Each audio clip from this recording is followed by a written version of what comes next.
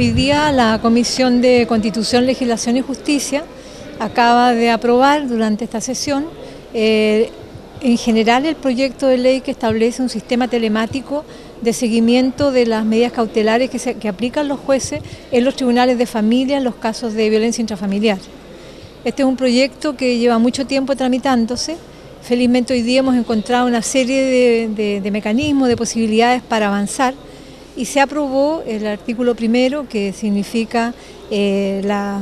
el deber que tendrá el juez al aplicar las medidas cautelares en tribunales de familia de establecer un sistema de seguimiento de estas cautelares eh, en base a un monitoreo telemático, va a decir brazalete o tobillera, a aplicaciones en los teléfonos, un botón de pánico, WhatsApp,